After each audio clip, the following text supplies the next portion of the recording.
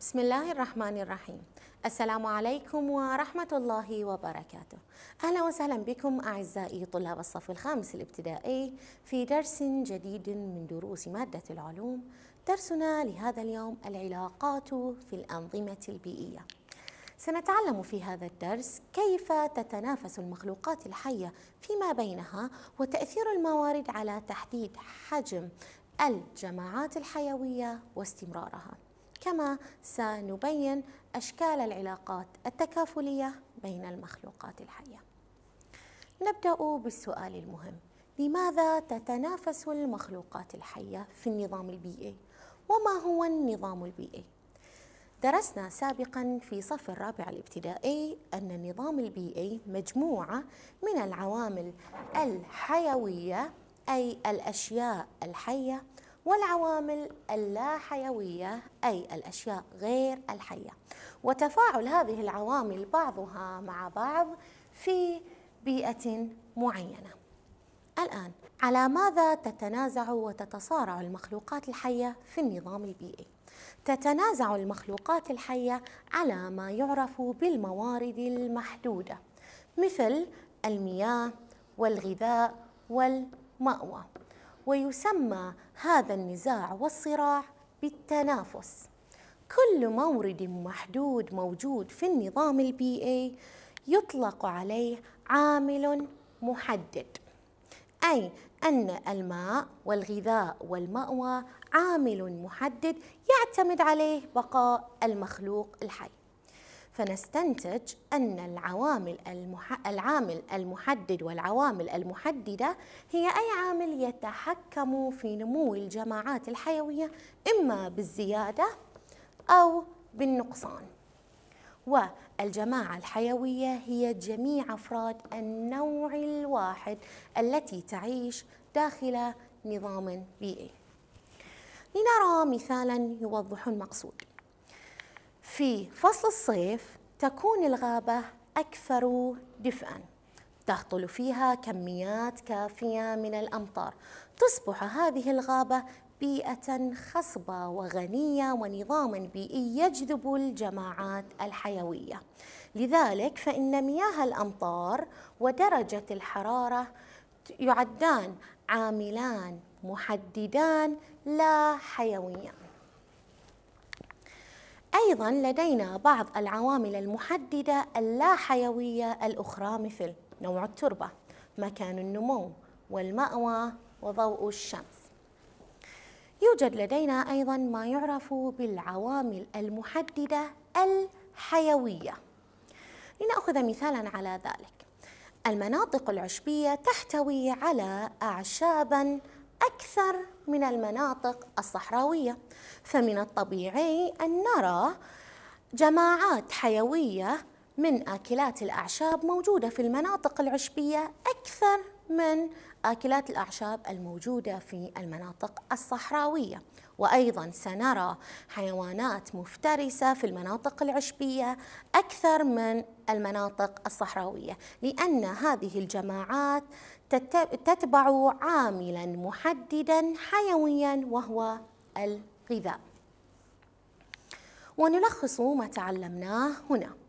فالعوامل المحددة إما أن تكون عواملا محددة لا حيوية مثل مياه الأمطار درجة الحرارة نوع التربة مكان النمو والمأوى وضوء الشمس. أو تكون هذه العوامل المحددة حيوية أي مخلوقات حية وأشياء حية مثل كمية الأعشاب والغذاء. والآن لنقيم ما تعلمناه. فكر في كل سؤال لمدة دقيقة واحدة. السؤال الأول ما العوامل اللا حيوية والعوامل الحيوية في بيئتي؟ الصحراء والغابة. أحسنتم. العوامل اللا حيوية إما أن تكون ماء وحرارة أو نوع تربة. أما العوامل الحيوية فقد تكون كمية الغذاء. السؤال الثاني. يحتوي قاع المحيط المظلم على عدد أقل من المخلوقات الحية مقارنة بالسطح. برأيكم ما العامل المحدد في هذا النظام البيئي؟ رائع. العامل المحدد هنا ضوء الشمس. حيث يمنع انعدام ضوء الشمس نمو النباتات في أعماق المحيط فيعيش عددا أقل من المخلوقات الحية. السؤال الثالث التفكير الناقد. لماذا تعد الزيادة المفاجئة في عدد الحيوانات المفترسة ظاهرة مؤقتة؟ أحسنتم. ستقلل زيادة أعداد الحيوانات المفترسة أعداد الفرائس. وإذا قل عدد الفرائس لن تحصل الحيوانات المفترسة على غذائها فسيقل أيضا عدد الحيوانات المفترسة بسبب نقص الغذاء. ثم تدريجيا سيزداد أعداد كل منهما. والآن نجيب على هذا السؤال المهم. كيف تستطيع المخلوقات الحية تجنب التنافس فيما بينها؟ بإمكان هذه المخلوقات الحية تجنب التنافس عن طريق حصولها على منطقة خاصة بها تعرف بالموطن. وأيضا من خلال تأدية دور خاص في هذا النظام البيئي وهو ما يعرف بالحيز. ولنبدأ بالموطن. الموطن هو المكان الذي يعيش فيه المخلوق الحي ويحصل منه على غذائه. قد يكون موطن هذا المخلوق الحي صغير مثل قمل الخشب الذي يعيش إما تحت جذع شجرة أو صخرة. بعض المخلوقات الأخرى لها مواطن أكبر مثل موطن النحل. موطن النحل ليس البيت الذي يعيش فيه فحسب بل إنه يشمل أيضا المناطق التي يطير إليها النحل للحصول على رحيق الأزهار. لدينا أيضا مثال آخر. نرى في هذه الصورة طيور تعيش في مجتمع حيوي واحد. هذه الطيور تعيش في جزيرة واحدة في مجتمع حيوي واحد تشترك في المجتمع الحيوي. إلا إنها تتجنب التنافس من خلال غذائها المختلف حيث أن كل طير يتناول نوعا مختلفا من الغذاء. ونرى في الصورة هنا أن منقار كل طير يساعده على اختيار غذاء مختلف عن الطير الآخر. هذا الطائر يتناول الحشرات واليرقات التي يجدها على أوراق الأشجار وغصونها ولحائها. هذا الطائر يتناول الحشرات واليرقات على الأغصان العالية جدا. أما هذا الطائر فإنه يمتص الرحيق من قمم الأشجار في الغابة المطرية بسبب منقاره الطويل. وبهذا تتجنب المخلوقات الحية التنافس في هذا المجتمع الحيوي الواحد من خلال تناولها طعاما وغذاء مختلفا. الآن لنقيم ما تعلمنا. السؤال الأول أي العبارات الآتية تعبر عن الموطن. هل الدور الخاص الذي يؤديه المخلوق الحي في حيز معين؟ أم المكان الذي يعيش فيه المخلوق الحي ويحصل منه على الغذاء؟ أم مجموعة العوامل اللاحيوية والعوامل الحيوية وتفاعلها بعضها مع بعض؟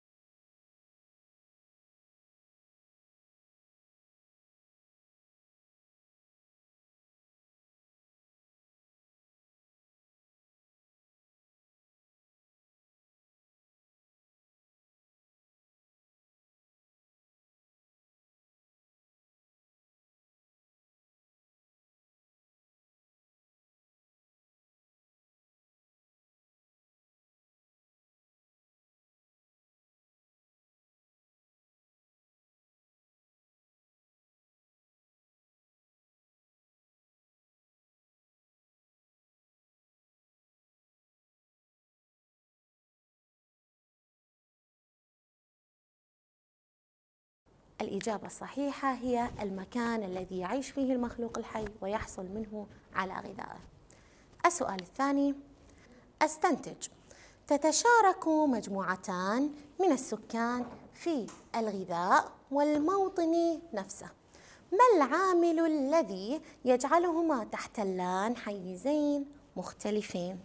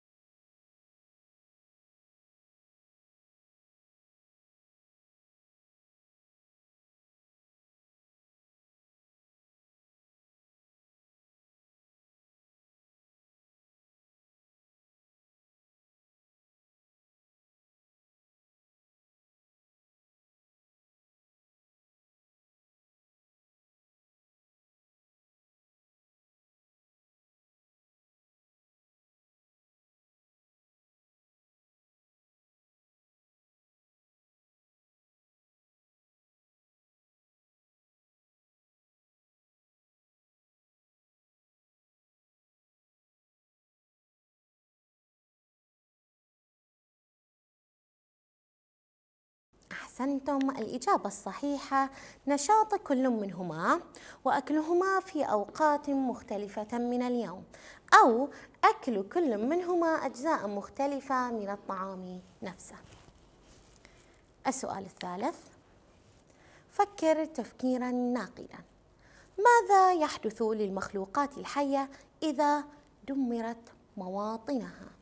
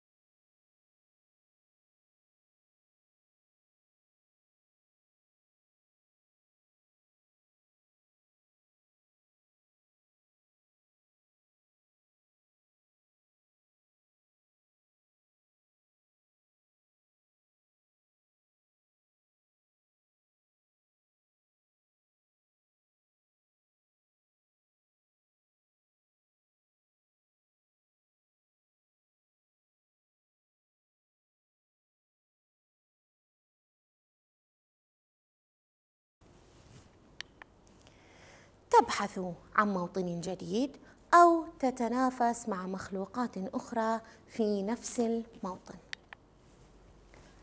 الآن لننتقل إلى مفهوم العلاقات بين المخلوقات الحية. نعرف أن الحيوانات لا تستطيع أن تصنع غذاءها بنفسها فتعتمد على النباتات ومنتجات الغذاء الأخرى لكي تحصل على هذا الغذاء.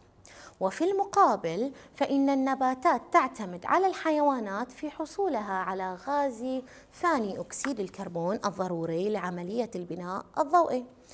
ومن هذا نرى أن هذه العلاقات المتبادلة تساعد كل من النباتات والحيوانات على البقاء.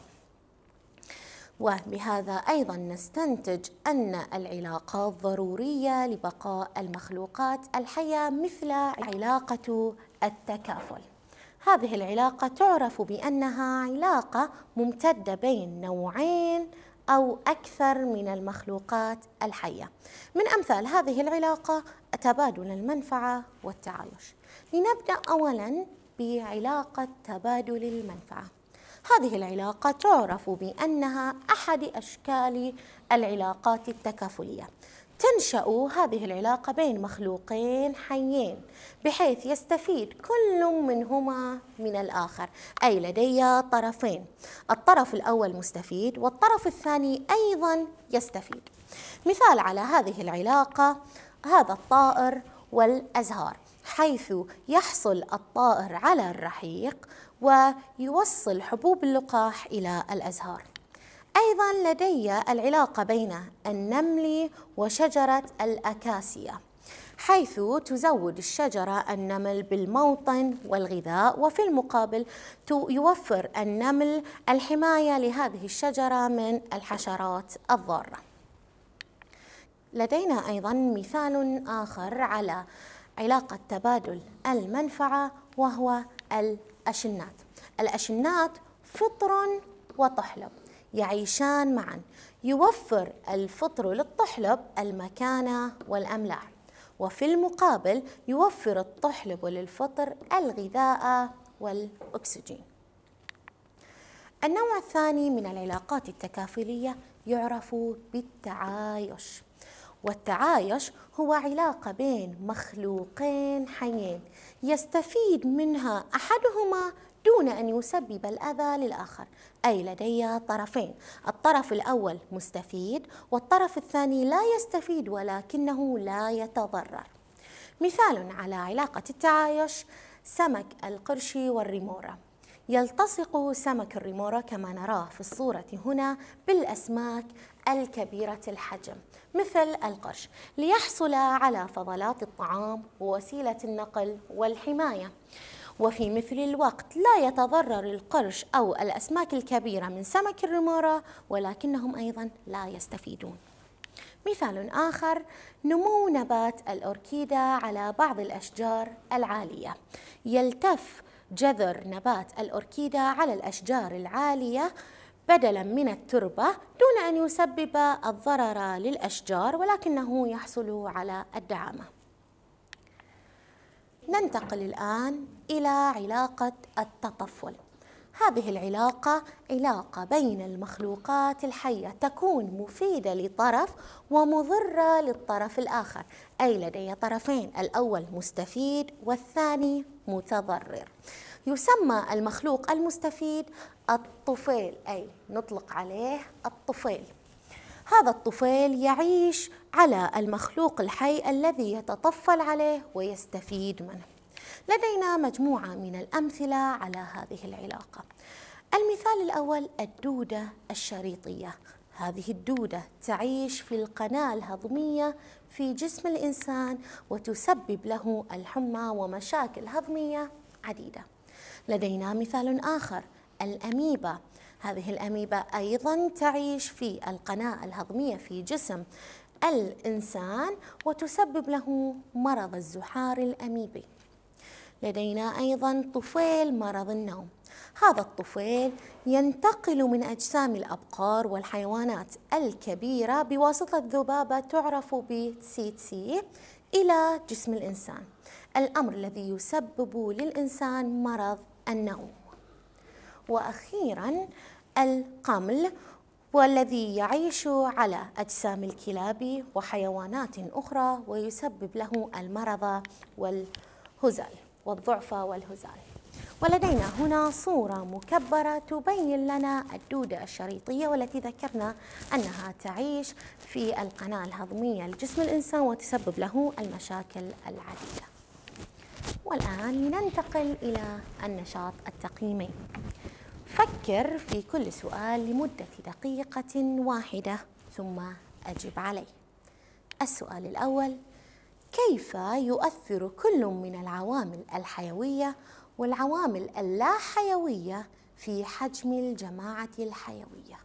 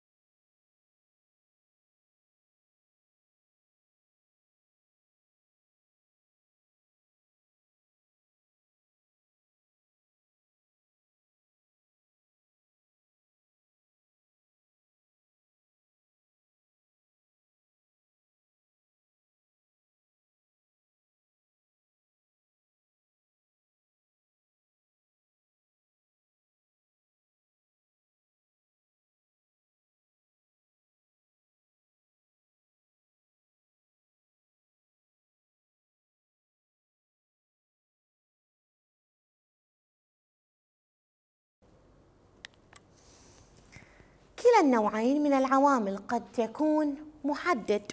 فالعوامل الحيوية قد تشمل المخلوقات الحية المتنافسة وأيضا قد تشمل العوامل اللا حيوية درجة الحرارة التي تؤثر في نمو المخلوقات الحية. السؤال الثاني كيف يغير الإنسان العوامل اللا حيوية في بيئته؟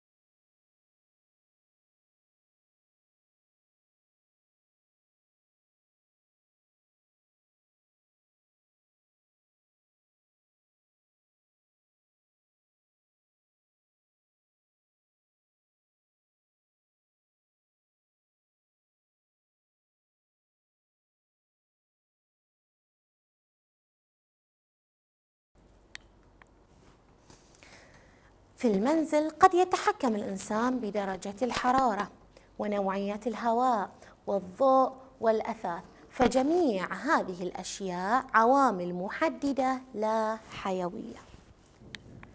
السؤال الثالث ما نوع العلاقة بين الطائر وحمار الوحش عندما يلتقط الطائر الحشرات الصغيرة التي تتطفل على جلد حمار الوحش؟ فكر بتمعن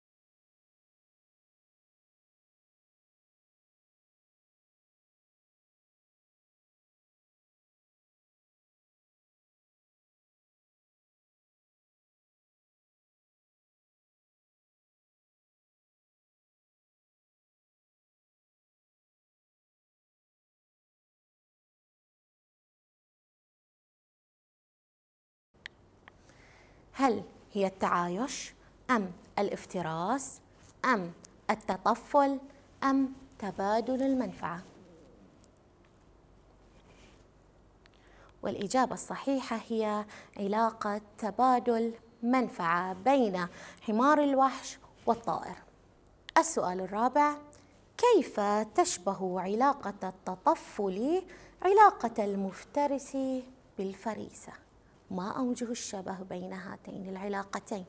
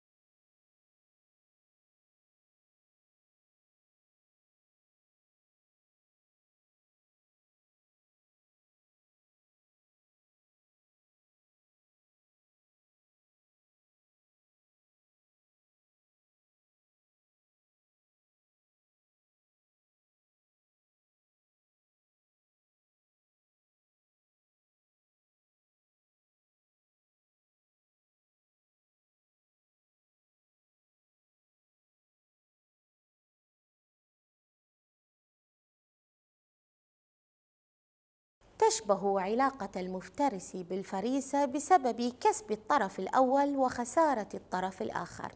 فالطفيل يشبه الحيوان المفترس والمخلوق الذي تم التطفل عليه يشبه الفريسة وهنا ننتهي من درسنا هذا نلقاكم في دروس أخرى.